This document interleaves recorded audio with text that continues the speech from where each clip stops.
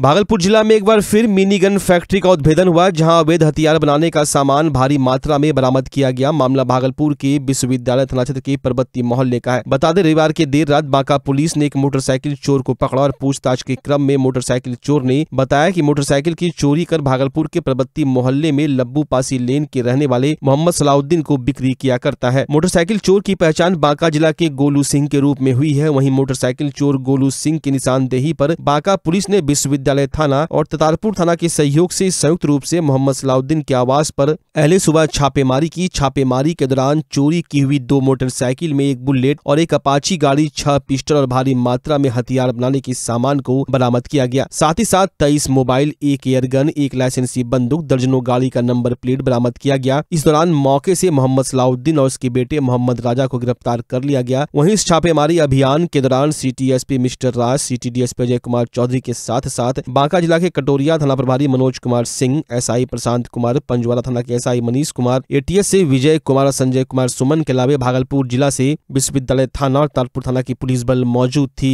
SP city के नेतृत्व में आ, कुछ हम लोग सामान जो है अवैध सामान हम लोग बरामद किए हैं और अनुसंधान चल रही है। जैसे फर्दर इसमें डेवलपमेंट होता है हम लोग क्या क्या क्या बरामद हुआ सर कुछ? इसका बारे में हथियार अभी अवैध हथियार बरामद हुए हैं। गिरफ्तारी भी हुई? आ, अब इसमें एक दो आदमी को भी हिरासत में लिया गया। कंफर्म थोड़ी देर के बाद हम लोग किस तरह का नेक्सस है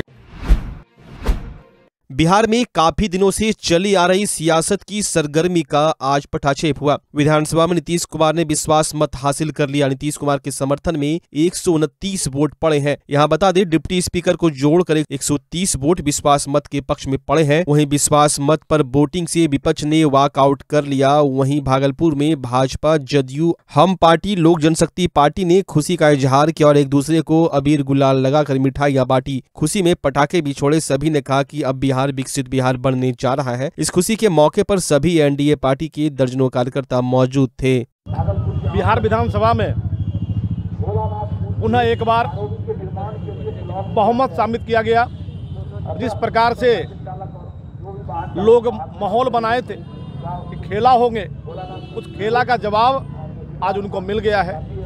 और यह जो विजय उत्सव है, उसको एनडीए गठबंधन मिलकर मना रहे हैं। और बिहार में विकास की गंगा बहेगी और डबल इंजन की सरकार बिहार में हो गई और एक निश्चित रूप से जो नए बिहार की परिकल्पना हम लोग करते हैं, उस आपको मालूम है, आज कई दिनों से चर्चा कर रहे थे विपक्षी लोग कि खेला होगा। आपने खेला देख लिया, किनके साथ खेला हुआ? हमारे एनडीए के सम्मानित विधायक और सभी साथी, एकजुट थे और उसका शक्ति का परिचय आज विधानसभा में दिया। इसलिए मैं आज भागलपुर जिला जनता दल यूनाइटेड एनडीए की ओर से माननीय मुख्यमंत्री जी को धन्यवाद ज्ञापन करता हूँ। माननीय उप मुख्यमंत्री सम्राट चौधरी जी को धन्यवाद ज्ञापन करता हूँ। माननीय उप मुख्यमंत्री विजय कुमार सिन्हा जी को एवं सभी एनडीए के सम्मानित विधायक को एकजुटता के लिए भागलपुर जिला जनता दल यूनाइटेड एनडीए की ओर से उन्हें धन्यवाद ज्ञापन करता हूँ। आप दिया था। और जो जनमत के अनुसार आज बहुमत जो मिला है और फिर से डबल इंजन की सरकार जो बनी है, इस सरकार द्वारा अब जो जनहित में जो काम विकास के जो रुका हुआ था, अब डबल इंजन की सरकार पूरा विकास करेगी और फिर से हम मोदी जी को तीसरी बार 400 पार करके बहुमत देंगे बिहार के लोग। जीत की है विधानसभा में जो खेला करना चाह रहे थे उन्हीं के यहाँ खेला हो गया और अपनी यहाँ पे बिहार में जो विकास की यात्रा है वो फिर से शुरू हुई और नरेंद्र मोदी जी के आदेश और निर्देश पे बिहार की भी उत्थान और आगे विकास होगी। ये, सरकार डबल इंजन की सरकार आगे बढ़ाएगी मंत्री हमारे नीतीश कुमार जी बिहार के नौवीं मंत्री बने। और आज उन्होंने बहुमत साबित किया और लगातार जो पिछले दिनों चर्चा हो रही थी तरह तरह के लोग चर्चा कर रहे थे, लेकिन आज बहुमत साबित करके यह स्पष्ट हो गया कि बिहार में माननीय नीतीश कुमार जी के ही नेतृत्व में ये बिहार चल रहा है और आगे भी चलेगा। इसी को लेकर हम लोग भागलपुर में एनडीए कार्यकर्ता इसाकचक थाना क्षेत्र के भीकनपुर में एक विवाहिता की मौत के बाद लड़की के परिजनों ने जमकर बवाल काटा। घटना को लेकर बताया जा रहा है कि तबलपुर की रहने वाली नसरीन की शादी दो साल पहले भीकनपुर निवासी मोहम्मद फैजल अंसारी से हुई थी। शादी के बाद से ही ससुराल वाले नसरीन को दहेज के लिए प्रताड़ित करते रहते थे और मारपीट करते थे। नसरीन के परिजनों ने आरोप लगाया है की दहेज नहीं देने पर पति और ससुराल वालों ने मिलकर नसरीन की हत्या कर दी। वही घटना की सूचना मिलते ही मौके पर पहुँची। इसाकचक पुलिस ने मृतिका के पति और सास को गिरफ़्तार कर मामले की जाँच में जुट गई। सुसाइड है या फिर मारा गया? मारता था बराबर बराबर ये दो साल शादी को नहीं हुआ कि बराबर मारपीट होता था। बराबर बोलते थे हम लोग कि ऐसा क्यों करते हो तुम लोग? कहता कि ना ऐसा कुछ ना होता तो बहन हम लोग आते थे तो इसका परिवार हम लोग को भगा देता था। बोलता था नहीं तुम्हारा नैयर वाला मैके वाला कोई नहीं आएगा। दहेज के मांग में तो बराबर ही यही सवाल होता था। तो हम लोग बोलते थे जो बोलना मेरे भाईजान को बोलिए आपका फरमाश पूरा करेगा। मगर क्यों ऐसा मारते पीटते हैं? उसकी ननन है सास गोतनी जाके दो ननन है उसकी दोनों। ननन सास गोतनी भैगनी भैगनी। किया टॉर्चर किया जाता था को? एक साल हो गए किया एक डेढ़ साल हो रहा है शादी करने को। क्या दिक्कत क्या रही थी पूरा दिक्कत कोई चीज़ नहीं देता था न कपड़ा न सही से पैसा न मोबाइल कुछ नहीं। न घर से जाने देता था अपने नैयर भी न कहीं आवे जावे कुछ नहीं। न मोबाइल से किसी से बात करने देता था। क्या लगता है? सब मिल के मारी से सारा परिवार मिल के मारी से। नुकसान ना बच्चा जब जन्म लेता है तो कई बार बच्चा तुरंत नहीं रोता है, रोने में देर हो जाता है। ऐसे में बच्चा क्षतिग्रस्त हो जाता है और उसके बचने की संभावना कम हो जाती है और यदि बचा तो भविष्य में उसमें विकलांगता की समस्या आती है, जिसे सीपी कहते हैं, जिसका कोई माकूल इलाज नहीं है और ज़िंदगी भर बच्चा विकलांगता से जूझ सकता है। ऐसे में पूरे संसार में कूलिंग थेरेपी का सहारा लिया जाता है। जन्म से ठीक छः घंटा के अंदर यदि उसको कूलिंग थेरेपी दिया जाए तो उससे उसका सीपी की समस्या कम होती है और बचने की भी संभावना बढ़ती है। पहली बार बिहार झारखंड में आपके शहर के स्नेह नवजात शिशु बाल सेवा केंद्र में यह मशीन उपलब्ध है। कभी भी ऐसी बात हो कि बच्चा रोने में विलम्ब हो गया तो आप स्नेह नवजात शिशु बाल सेवा केंद्र में ज़रूर संपर्क करें।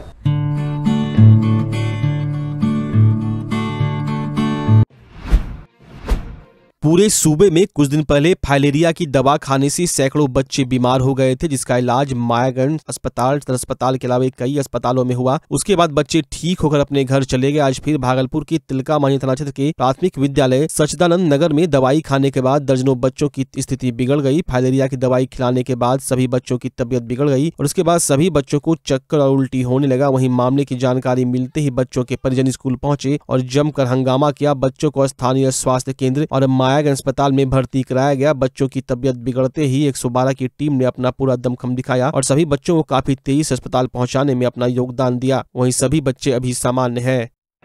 क्या हुआ? काहे दर्द कर रहा है? क्या चीज़ का दवाई खिलाया था? क्या नाम है? ज़ोर से खिलाया है स्कूल में। क्या चीज़ का दवाई खिलाया था वही मलेरिया एलेरिया का खिलाया है तो तो क्या हो गया? सारी रिपोर्ट होनी देंगे हम तो नहीं उतना कौन स्कूल का? हवाई अड्डा स्कूल क्या नाम है स्कूल का? ले गेलिए तो हमरा के ठीक हो ठीक बच्चा ना निकाल दिया कौन नहीं निकालने दे रहा था? मैडम सर डॉक्टर सब चले बैठलो। यार जत्ता बच्चा के दवा खिलाना सब चले हमरा बच्चा पूरा बेहोश चले हम लिए लगलिए बच्चा हमरा बच्चा के नहीं लिया दिल हम कहलिए मरतो हम बच्चा ले लेबो। दौरान हो बाबू रोड पर लगलिए दौरान हो बाबू हमरा बच्चा मरि गेलो तब दौड़ले ढेरी तो बच्चा तब यहाँ हॉस्पिटल कौन लेके आया? दूसरा मोटरसाइकिल पर बच्चा के। हमरा बच्चा क्या नाम है बच्चा कब का साक्षी कुमारी सड़क हादसे में हर दिन दर्जनों लोगों की मौत हुआ करती है। फिर भी लोग सचेत नहीं हो रहे, न ही यातायात के नियमों का पालन करते हैं, न ही वाहन को धीमी गति से चलाते हैं। आज फिर वाहन की चपेट में आने से एक 28 वर्षीय युवक की मौत हो गई। मामला भागलपुर की कहलगांव की सनोखर थाना क्षेत्र का है, जहाँ जुगाड़ गाड़ी और टोटो में जोरदार टक्कर हो गई, जिससे एक अट्ठाईस वर्षीय युवक मुर्शीद भान बुरी तरह घायल हो गया। इलाज के दौरान उसकी मौत हो गई। मुर्शीद धनोकर का रहने वाला है और अपने पीछे तीन बेटी, दो बेटे और पत्नी को छोड़ गया है।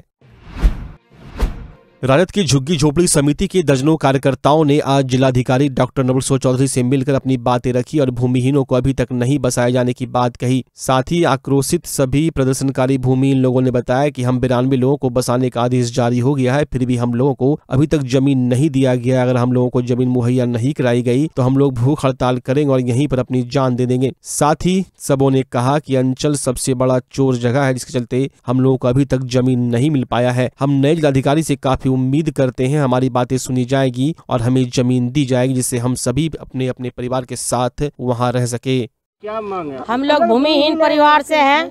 हम लोग का पर्चा नहीं मिला गया है। हम लोग का पर्चा दिया जाए। बना करके आज जिसको पर्चा मिला है वो उसको पर्चा पे बसाया जाए। और जिसका नाम आए हुए हैं सूची में उसको जाँच करके पर्चा दिया जाए उनको भी। बार बार आप लोग आ रहे हैं आंदोलन करने के लिए। हम लोग आप तो भूख हड़ताल करेंगे। हम लोग को नहीं दिया जा रहा है। बहुत दिन से प्रयास कर रहे हैं। डीएम साहब के पास इसलिए आ रहे हैं। अभी नया डीएम साहब आए हुए हैं। मेरा नाम रुचि देवी। हम लोग भूख हड़ताल करने के लिए आए हुए हैं। गरीब सबका बसा दीजिए। बिरानवे आदमी का आदेश हुआ था। एक भी नहीं बसा है। मेरा पर्चा नाम में मेरा तो। नाम भी आया था छाट दिया गया था। इसीलिए हम लोग भूख हड़ताल करेंगे। जान भी दे सकते हैं। डीएम साहब के सबका आदेश करके। उनको सब गरीबी आदमी को बसा दिया है। मेरा नाम मीरा देवी है। इसका आज से डेढ़ साल पहले जो है इनके पूर्व जो डीएम साहब थे लोक शिकायत के पदाधिकारी के हिसाब से हम लोग को आदेश हुआ था बिरानवे भूमिहीनों को ज़मीन देने का। पर्चा हम लोग को मिल गया है। डीएम साहब का आदेश हुआ कि सभी भूमिहीनों को ज़मीन का पर्चा मिल जाए पर्चा मिल गया ज़मीन हम लोग अभी तक देखे नहीं है। पता चला कि खीरी बाँध में ज़मीन है ज़मीन हम लोग को वहाँ मिलेगा। और पर्चा में सर दो महीना का समय दिया गया है। तो हम लोग का ये डीएम साहब से विनती है कि ज़मीन को हम लोग को नापी करा के दे दिया जाए। और दूसरा जो है कि जिनका नाम आया हुआ है बावन आदमी का, जाँच वगैरह लेकिन सर उसका जो है अभी तक पर्चा नहीं बनाया गया है। उसका पर्चा बना के उन लोग को वितरण कर दिया जाए। और जो बाकी जो पर्वती वगैरह का जो जाँच हुआ है, अभी जाँच नहीं हुआ, उन लोग का नाम आ गया है लिस्ट में। एडीएम साहब के यहाँ से मेरे पास करीब डेढ़ सौ, दो सौ आदमी का लिस्ट आया हुआ है। इन लोग का जाँच कर करके सर इन लोग को जो है कि पर्चा बना के निर्गत कर दिया जाए और जाके ज़मीन पर बसा दिया जाए। हम लोग का बस यही विनती है डीएम साहब से। हाँ? आज हम लोग डीएम साहब के अथी में आए हैं कि हम लोग डीएम साहब नया अभी आए हुए हैं तो हमसे उनसे विनती करना चाहते हैं कि हम लोग का गरीब का फरियाद सुन करके ऐसे हम लोग एक दो आदमी जाते हैं तो सुनवाई नहीं होता है। कम से कम दस बार डीएम साहब को लेटर दे चुके हैं एसडीओ साहब के यहाँ लेटर दे चुके हैं। एडीएम साहब को दे चुके हैं। आदेश भी हो गया कि तुरंत किया जाए, लेकिन कोई सुनवाई नहीं होता। अंचल सबसे बड़ा चोर जगह है। पूरे देश में सड़क सुरक्षा माह कार्यक्रम का आयोजन किया जा रहा है, जिसको लेकर भागलपुर में भी कई जगहों पर यह कार्यक्रम आयोजित किया जा रहा है। इसी बाबत आज जीवन जागृति सोसाइटी भागलपुर की तरफ़ से चल रहे सड़क सुरक्षा माह के अंतर्गत आज सैंडिस कंपाउंड गेट पर मॉक ड्रिल कर सड़क दुर्घटना में हुए व्यक्ति की कैसे मदद करें, ऐसी स्थिति में पुलिस से ना डरे, जैसे कई बातों को बताया गया। अक्सर लोग पुलिस से डरते हैं, अगर किसी व्यक्ति का एक्सीडेंट हुआ और हम उसे उठाते हैं तो पुलिस परेशान करेगी, मगर अब ऐसी कोई बात नहीं है। कोर्ट के आदेश पर अब मदद करने वालों को इनाम भी दिया जाएगा। बतौर इनाम दस हज़ार रूपए की राशि दी जाएगी और उन्हें सम्मानित भी किया जाएगा। उसमें जीवन जागृति सोसाइटी है एनजीओ है, इनके थ्रू डॉक्टर अजय सिंह इसके मेन, मैंने करता धरता समझिए, ये इंटरेस्ट भी लेते हैं। तो सड़क सुरक्षा सप्ताह या सड़क सुरक्षा माह अभी कहिए, एक माह का चल रहा है। तो इसमें इससे जुड़ा हुआ जितना भी सड़क पे अलर्ट होना चाहिए, आदमी को लाइफ सिक्योरिटी का, जो भी बाइक या चार चक्का, जो भी चलाते हैं तो ट्रैफ़िक से संबंधित है। अपनी जान को सुरक्षित लेके जाएँ तो हेलमेट लगाएँ, सीट बेल्ट लगाएँ। कोई बात तो किसी का एक्सीडेंट हो जाता है तो किसी को, सभी लोग बहुत आज के डेट में फ़ोटो खींचने लगते हैं, फ़ोटो, वीडियो बनाने लगते हैं। तो उसको जल्दी से जल्दी हॉस्पिटल पहुंचाएँ, जहाँ भी मेडिकल सुविधा मिल सके। अभी सरकार के द्वारा सड़क सुरक्षा माह मनाया जा रहा है और जैसा कि आप जानते हैं, जीवन जागृति सोसाइटी वर्षों से सड़क सुरक्षा पर काम करती है।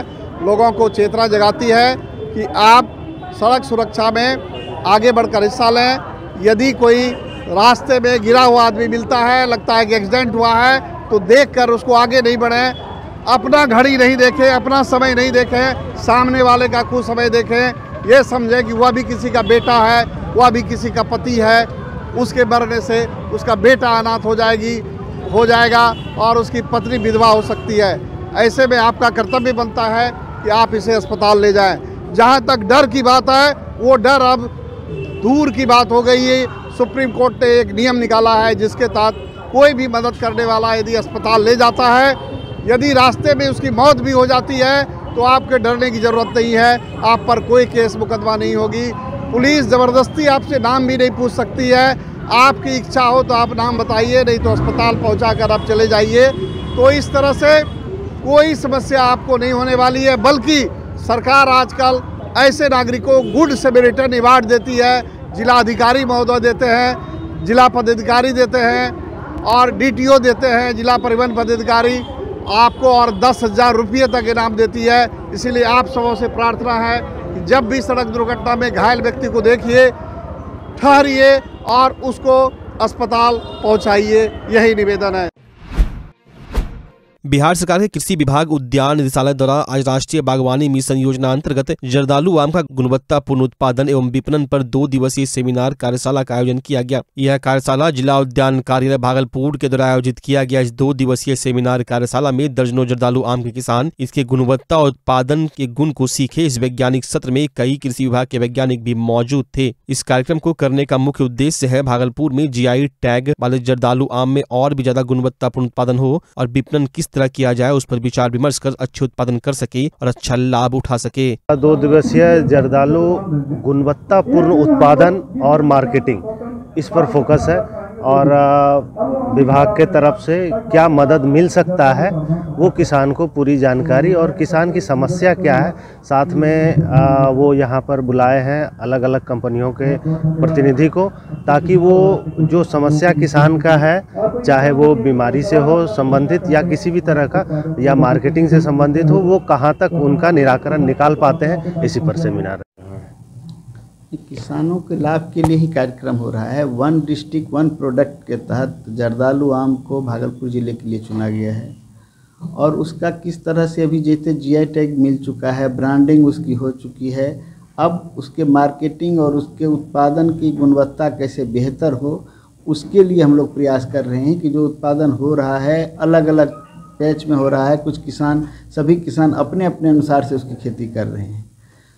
जब हम लोग आम लेने जाते हैं सीज़न में देखने जाते हैं तो पाते हैं कि किन्हीं का रख रखाव बेहतर है, किसी का कम है, किसी ने किसी एक चीज़ में कमी कर दी है, किसी ने दूसरे चीज़ में कमी कर दी है तो हम लोग का ये प्रयास हो रहा है कि सबों का यदि समेकित रूप से एक बैठक हो और सबकी बातों को सुने, सबका सुझाव लें, फिर अलग अलग कंपनियों की नई नई दवाएँ जो आई है या अलग अलग जो पैकेज प्रैक्टिस है, जो नया सुधार जो हुआ है, यूनिवर्सिटी ने जो किया है, जो जो नए रिसर्च हुए हैं, उससे छन के जो है, उन सबको समाहित कर करके एक ऐसा विकल्प हम लोग दें किसानों को कि आप यदि इस पैकेज प्रैक्टिस से करेंगे तो ये बेहतर होगा। साथ ही उनकी जो कुछ मांगे हैं, जैसे पैक हाउस की मांग है या अन्य मांगे हैं छोटी छोटी मांगे हैं कि किस तरह से उनको सिंचाई के साधन उपलब्ध होने चाहिए और बेहतर ढंग से रख रखाव के होने चाहिए। तो वो सारी चीज़ों पर भी हम लोग उसको फोकस कर रहे हैं किस तरह से जैविक खेती की तरफ़ भी हम लोग बढ़ रहा है ये ज़िला। तो उस जैविक खेती की तरफ़ बढ़ने के लिए हम लोगों को क्या क्या मेजर्स अपनाने चाहिए, वो सब चीज़ों का गुर उन लोगों से भी कुछ सुझाव लेंगे। उन लोगों को कुछ हम लोग अपनी राय दे रहे हैं और उसके बाद निकल के जो आएगा बेहतर रूप से हम लोग एक उच्च क्वालिटी के जर्दालू आम का उत्पादन कर सकें और उसका बेहतर मार्केटिंग कर सकें, यही आज का उद्देश्य है। भारतीय रेड क्रॉस सोसाइटी जिला शाखा भागलपुर की सचिव पद पर सर्वसम्मति से सिविल सर्जन को चयनित किया गया था। सिविल सर्जन ने अपनी व्यस्तता के कारण से सचिव पद से अपनी सहमति प्रदान नहीं की। इस कारण से नए सचिव के मनोनयन के लिए बैठक आयोजित की गई। सचिव पद के लिए सर्वसम्मति से भारतीय रेड क्रॉस सोसाइटी जिला भागलपुर शाखा के जिला प्रबंध समिति की संचालन समिति के सक्रिय सदस्य परवीन कुमार झा का चयन किया गया। चयन के बाद उन्होंने कहा की मैं पूरी तन्मयता, लगन और निष्ठा से सचिव पद का कार्य करूँगा। बैठक में राज्य प्रतिनिधि अनुज कुमार ने पटना में भारतीय रेड क्रॉस सोसाइटी समिति के प्रदेश अध्यक्ष डॉक्टर विनय बहादुर सिन्हा से रवि कुमार सदस्य जिला प्रबंध समिति सह संयुक्त सचिव भारतीय रेड क्रॉस सोसाइटी जिला शाखा भागलपुर सभापति अशोक जीवराज ने भेंट की और प्रदेश कार्यालय द्वारा एक सौ पचहत्तर पीस कम्बल पचहत्तर पीस किट और पचास पीस तिरपाल प्राप्त हुआ। कोषाध्यक्ष से शाखा भारतीय रेड क्रॉस सोसाइटी की समिति की जिला शाखा के लिए बैंक खाता खोलने का अनुरोध किया गया। सभी जिला प्रबंध समिति, भारतीय रेड क्रॉस सोसाइटी, जिला शाखा भागलपुर के सदस्य एवं पदाधिकारी अशोक कुमार जीवराज का, डॉक्टर अजय कुमार सिंह, कुंज बिहारी झुंझुनवाला, घनश्याम दास कोठारी वाला, रवि कुमार, प्रवीण कुमार झा, पंकज कुमार तिवारी, कुमार अनुज सिंह, वैद्य देवेंद्र कुमार गुप्ता उपस्थित थे। तो आज उसी संदर्भ में बैठक हुई और उसमें प्रवीण कुमार झा, जो कार्यकारिणी समिति के सदस्य हैं, उनके नामों पर विचार हुआ और प्रस्ताव आया झुंझुनवाला महोदय चंद्र साहब के द्वारा और उसको सर्वसम्मति से सभी लोगों ने जो उपस्थित थे आज, उसमें से सभी लोगों ने उनको स्वीकार किया और प्रवीण कुमार झा जी ने भी इस पद के लिए अपनी सहमति दी और साथ में कहा कि मैं पूरी तन्मयता और ईमानदारी से मैं इस पद का निर्वाहन करूँगा। और अन्य कार्यों को जैसे कार्यकारिणी के लोग अनुज कुमार सिंह जी पटना गए थे, युवराज का ये हमारे जो सभापति महोदय हैं, वो भी गए थे और रवि जी गए थे। वहाँ से कंबल आया और फ़र्स्ट एड किट आया, कुछ तिरपाल आया है, उसकी संख्या डिटेल लिखा हुआ है और उसके बारे में भी लोगों को, सदस्यों को जानकारी दिया गया। कंबल वितरण हो गया और किट जो आया है, स्वास्थ्य संबंधी किट है, इसको आप देख सकते हैं कि ये है इसका वितरण अभी 50 पीस आया हुआ है। और कुछ त्रिपाल आया है कितना पीस है त्रिपाल? से हैं? पचास त्रिपाल आया हुआ है तो उसका भी हम लोग आगे बरसात में वितरण करेंगे। तो किट कब तक वितरण कर- कीजिएगा? किट शीघ्र ही योजना बन रही है कि जो गरीब महिलाएँ हैं या पुरुष है फैमिली है उनको हम लोग किट जल्द ही वितरण करेंगे। और जैसा कि त्रिपाल जो है बाद में वितरण करेंगे। और पिछले कार्यों की संपुष्टि भी इसी सबके साथ आज प्रोग्राम हुआ और जल्द ही हम लोगों को आश्वासन दिया गया है कि जहाँ भी इंक्रोचमेंट है, अवैध कब्जा है, उसको जल्द ही प्रशासन के द्वारा हम लोगों को खुलवा के सुपुर्द किया जाएगा और चार्ज सचिव पद के मनोनयन के साथ ही चार्ज का रास्ता लेने का खुल गया है और जल्द ही हम लोग अपनी प्रक्रिया करके रेड क्रॉस सोसाइटी भागलपुर शाखा को आगे बढ़ाएँगे। समस्त पदाधिकारीगण को मैं बहुत बहुत धन्यवाद और आभार व्यक्त करता हूँ कि सचिव पद के लिए मुझे मनोनयन किया गया है। पूर्व में रेड क्रॉस सोसाइटी भागलपुर के द्वारा 2012 से गतिविधि थी, वह बिल्कुल नगण्य हो चुकी थी और सही ढंग से कार्य नहीं किया जा रहा था और एक तरह से ऑक्योपाइड किया गया था। और हम लोगों की प्राथमिकता यही रहेगी कि इंडियन रेड क्रॉस सोसाइटी के भवन को जो प्रशासन के द्वारा, हम लोगों के मेंबर्स के द्वारा सील करवाया गया है, उसे अब खुलवा करके हम लोग वहाँ ऑफ़िस अपना सुचारू ढंग से हम लोग चालू करें और इस बीच जो पटना से कंबल और किट उसके बाद तिरपाल जो आया हुआ है मानव सेवा के लिए तो सबसे पहले तो हम लोगों ने कंबल बाँटा और अब किट बांटने की तैयारी हो रही है और बाढ़ के समय में हम लोग तिरपाल वगैरह की बांटेंगे।